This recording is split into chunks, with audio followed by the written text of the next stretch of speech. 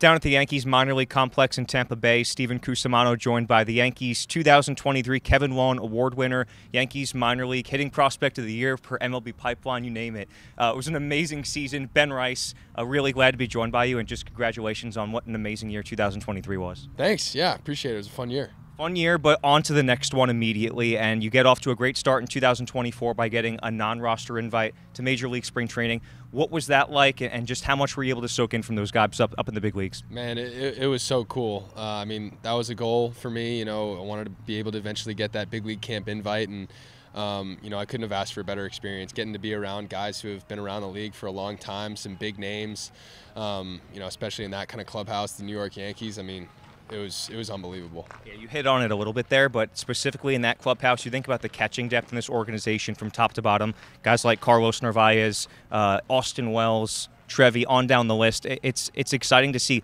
so many great catchers up and down the organization. What's it been like to just kind of work with those guys and, and sharpen each other along the way? Yeah, I mean, you couldn't be more right. Uh, we have so many good catchers in this organization. It's something we take a lot of pride in. I mean, we got guys who not only can swing it, but are great defenders and you know get the most out of their pitching staff every day. So to be around you know that caliber of player like all the time. You know, I'm with the catchers every day, right?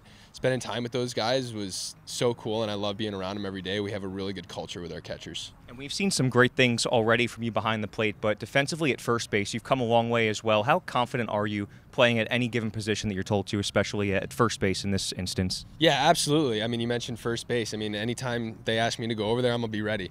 You know, so it's it's it's just a matter of always being prepared. You know, getting my work in over there when I can, um, and you know, at the same time, you know, if they ever needed me to go anywhere else, I'm I'm always gonna be ready. I'm going to go wherever they uh, they need me.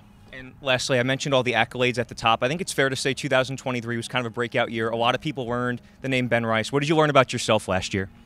Um, you know, I learned uh, I learned that confidence can go a long way. You know, I think missing two months with the injury uh, was a little bit of a, a speed bump um, for me, and uh, but but what carried me through that was staying confident in myself, knowing that I can, you know, coming back after after some time off, uh, I was going to be able to rebound. So uh, just just confidence and, and, and, trust in my process and the work that I put into it. Uh, I, I, think that that really carries me through everything. All right, thank you so much, Ben. That's Yankees catcher Ben Rice coming off a phenomenal 2023 season and looking for more in 2024.